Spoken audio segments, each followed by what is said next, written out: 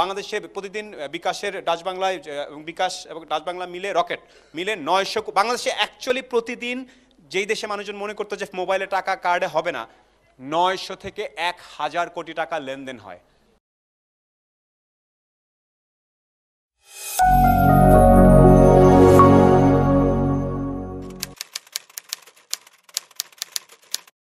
Out of the box বলতে কি বুঝি? মানে এমন একটা চিন্তা যেটা মানুষ বলে ওয়াও ভালো তো? জোস ভেরি ভেরি ইনোভেটিভ এ ধরনের কিছু একটা, যেটা আমরা নর্মালি বাকিরা চিন্তা করছে না, আপনি চিন্তা করছেন এটাই তো আউট অফ দ্য বক্স বলার চেষ্টা করছি। ফিউচার বুঝতে পারা। ভাই, কি বলতেছেন? ফার্ম গেটে তো ওই যে টিয়া পাখিও ইয়া তোলে ফিউচার দেখা এটা বলতে চাচ্ছেন? সামথিং লাইক দ্যাট যেই মানুষটা ফিউচারে কি হতে পারে, এটা বুঝতে পারে। খাত ওয়াইজ বলি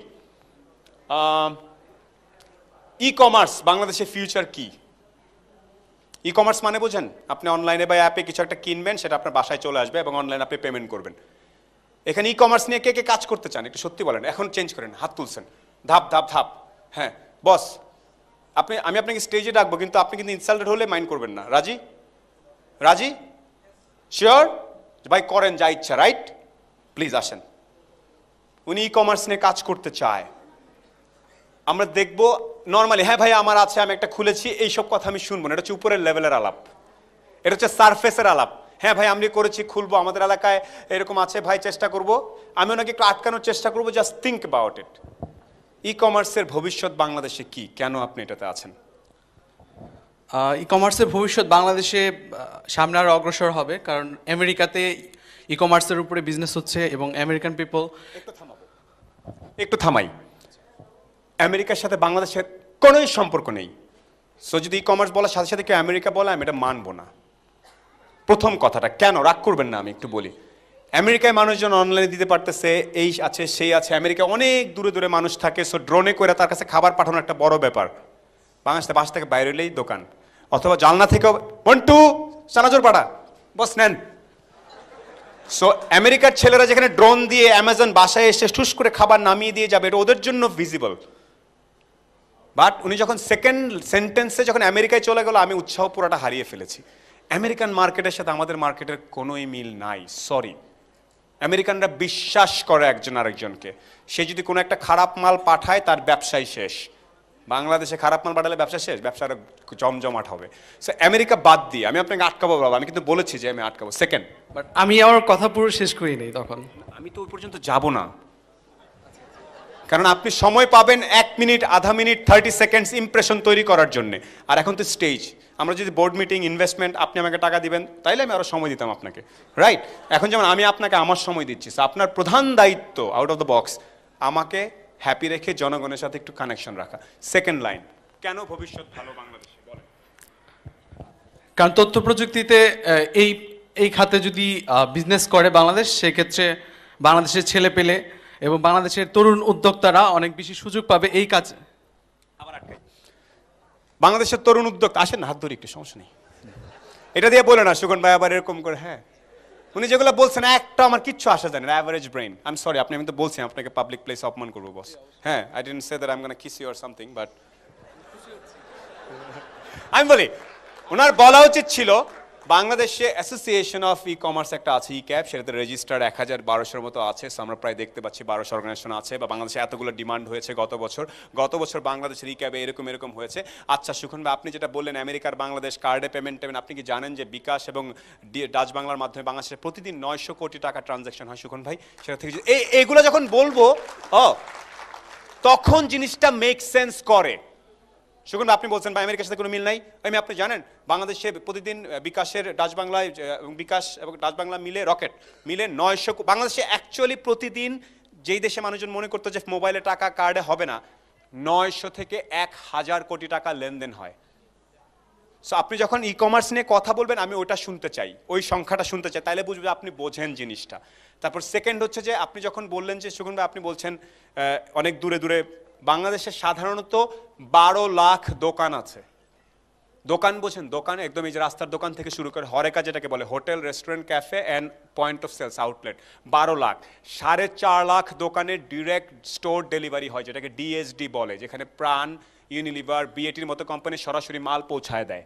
তো আজকে প্রাণ একটা চকলেট বের করলে ইট ইজ পসিবল দ্যাট পাঁচ দিনের মধ্যে সেই চকলেটটা বাংলাদেশের সাড়ে পাঁচ লাখ দোকানে থাকবে। সো বাংলাদেশে একটা স্ট্রং ডিস্ট্রিবিউশন মডেল অলরেডি বড় বড় বিজনেসের আছে। আপনি পাড়ায় বসে চকলেট অনলাইনে দিবেন, আপনি দেওয়ার আগে ওই কোম্পানির রিপ্রেজেন্টেটিভ গিয়ে ওই দোকানে দিয়ে চলে আসবে, ওই দোকানদার লোক দিয়ে আপনার বাসায় পাঠিয়ে দিবে। When you know all this numbers একটু চিন্তা করেন তাহলে, ঠান্ডা মাথায় বলি। নাম্বার নিয়ে কথা বলতে গেলেই ব্রেন আটকে যায়। এই, তোমরা একটু কম হাসাহাসি করো না? এই, একটু হ্যাঁ। এই আর একটু কম আউট অফ দ্য বক্স হ্যাঁ ঠিক আছে, শাড়ি পরেছে, ওরা খুব এক্সাইটেড ছবি তুলবা ইটস ওকে হ্যাঁ সরি আমি একটু বলি, আমি একটু থামাই ওনাকে। আমি জাস্ট সিম্পল কিছু ধারণা বলেছি, যখনই think out of the box করতে চান, ওই ব্যাপারটা সম্বন্ধে কি নাম্বার জানেন আপনি? আসলে জানেন কোনো নাম্বার? নাম্বার নিয়ে কারোর সাথে কথা হয়েছে? স্ট্যাটিস্টিক্স ছাড়া আউট অফ দ্য বক্স চিন্তা করা যায় না। অ্যান্ড সেকেন্ড হচ্ছে হিস্ট্রি ই কমার্সের হিস্ট্রি সম্বন্ধে আইডিয়া আছে? কবে থেকে শুরু হয়েছে কীভাবে হয় বা ডিস্ট্রিবিউশন মডেলের হিস্ট্রি তাহলে ডিফিকাল্ট হবে এই জন্য। So thank you what's what is you name আমার নাম হচ্ছে ইব্রাহিম মোসা থ্যাংক ইউ ইব্রাহিম ভাই স্টিল ভেরি স্ট্রংলি দাঁড়িয়ে আছে। এক হাজার লোকের সামনে উনি যে দুটা কথা বলেছে আমি যেহেতু স্পিকার আমি আমার ক্ষমতার অপব্যবহার করে ওনাকে ডেলিভারেটলি অপমান করেছি তারপরে সে স্ট্রংলি দাঁড়িয়ে আছে। This is call super human আস্তে। শেষ করতে দেওয়া উচিত কে বলেছে? একটু স্টেজে আসেন। আসেন। এটা হচ্ছে, আপনি অবশ্যই বাকিরা বুঝে গেছে যে অনুষ্ঠানটা শেষ, ওনার প্রোগ্রামটা ডান। এখানে নাম্বারস নিয়ে কথা হচ্ছে, ওটা না বলে উনি বলছেন শেষ করতে দেওয়া উচিত। এটা হচ্ছে অ্যাটেনশন নেয়ার একটা পসিবিলিটি কেন শেষ করতে দেওয়া উচিত? আমি আপনার কাছ থেকে শুনতে চাই। আদারওয়াইজ কিন্তু আমিও আপনাকে অপমান করব। রাজি? রাজি? হ্যাঁ। বলেন না, শেষ করতে দেওয়া উচিত শব্দটা কেন বললেন? শেষ করতে দেওয়া উচিত এই জন্য যে ওনাকে প্রায় প্রত্যেকটা লাইনে লাইনে থামানো হচ্ছিল। তো একটা লাইনটি তো আগে ওনাকে আমাকে বলতে দিতে হবে? আমি এবার আপনাকে থামাই। না।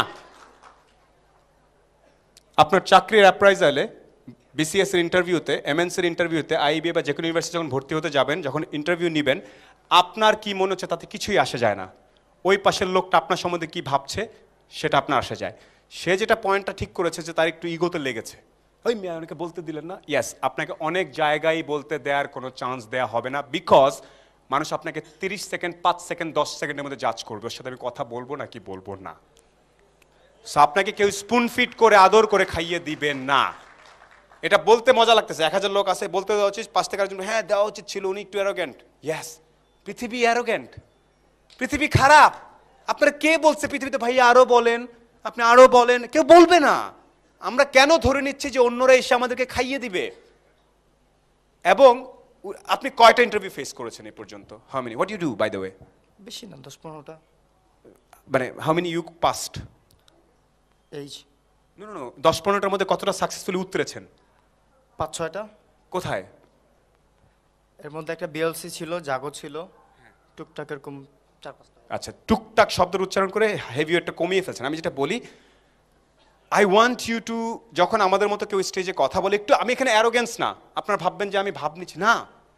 আমি I am stating the fact সত্য কথাগুলো তো পরিষ্কার করে কাউকে বলতে হবে। আপনি উনি যেটা বললেন আসলেই টাইম পাবেন না আপনি। এখানে আমার একটা কথা এই যে আবারও মেনে নিতে কষ্ট হচ্ছে।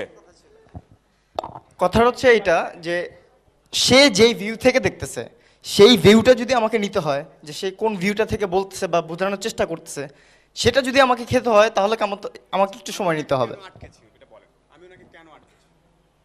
আবার বললেন। কেন আটকিয়েছেন? আচ্ছা। সংখ্যার বিষয়টার জন্য এই তো? সংখ্যা। আচ্ছা ঠিক আছে। বাট প্রথম থেকেই উনি যেভাবে বলার চেষ্টা করেছিল হ্যাঁ এটা হয়তো বা যে সে আপনার মতো এত এটা এক্সপিরিয়েন্স না। বাট সে তো চেষ্টা করছিল। আমার মতো এক্সপিরিয়েন্স তো হবে না, যার কারণে আমি এখানে দাঁড়িয়ে আছি। আমি যখন ইন্টারভিউর কথা বলছি, আমি বাইশ বছর আগে থেকে ইন্টারভিউ সিট ডাউন অবশ্যই করার আছে। হ্যাঁ না জানে, না বুঝে দাঁড়ায় যাটা sit down relax try to understand এখানে যে হিট হয়ে যাচ্ছে, সবাই মজা পাচ্ছে। আরে জমে গেছে, সেগুলো বকতে দিচ্ছিল, দুইটা পলা ঝামেলা করছে। এটা হচ্ছে অ্যাভারেজ ব্রেইনস আমি এতক্ষণ ধরে এটাই বলার চেষ্টা করতেছিলাম যে অ্যাভারেজ জিনিস নিয়ে আমরা মজা পেয়ে যাই। এই পুরো আলোচনাটা গত সাত মিনিটের ঘটারই কথা ছিল না। উনি খুব সুন্দরভাবে গ্রেসফুলি অ্যাকসেপ্ট করে যে সুগন ভাই, বুঝে গেছি, ঝামেলা, উনি চলে যাচ্ছিলেন। He stop I called him up try to make him understand আরেকজন দাঁড়াচ্ছি। আমি যদি আপনাকে ডেকে এই ধরনের সিচুয়েশনের নাম্বারস নিয়ে কথা বলতে বলে আপনিও আটকে যাবেন। আমি তো ওটাই বোঝানোর চেষ্টা করছি। রাইট রিল্যাক্স আর অন্যের সাথে রাগলে না শারীরিক একটা আনন্দ হয়। রাগলে দেখবেন যে শক্তি চলে আসে না শরীরে? এইটা আমরা অনেকে পছন্দ করি। উই লাইক দিস থিং রাগলে গা গরম হয়ে যায়। We love this thing this is like addiction এটা থেকে একটু বেরোতে হবে।